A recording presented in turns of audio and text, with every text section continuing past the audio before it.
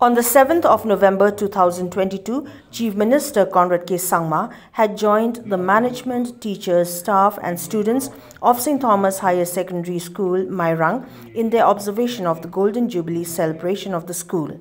During the event, Sangma also laid the foundation for the construction of the gallery in the football ground of the school, which has been sanctioned under the Chief Minister's Special Development Fund at a cost of rupees 10 lakhs.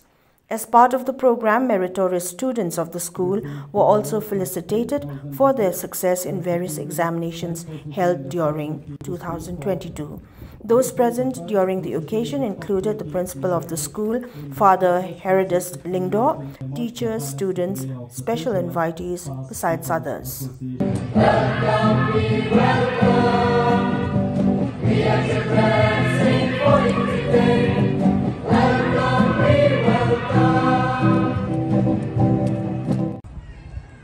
And hence this day, while we celebrate the 50 years and the golden jubilee of this school, we must look back in the last 50 years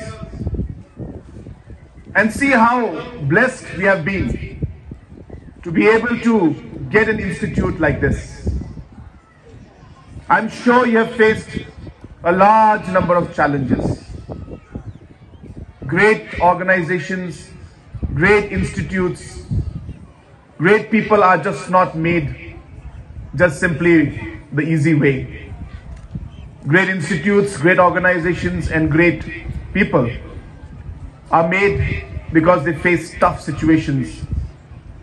They overcome those tough situations and come out victorious.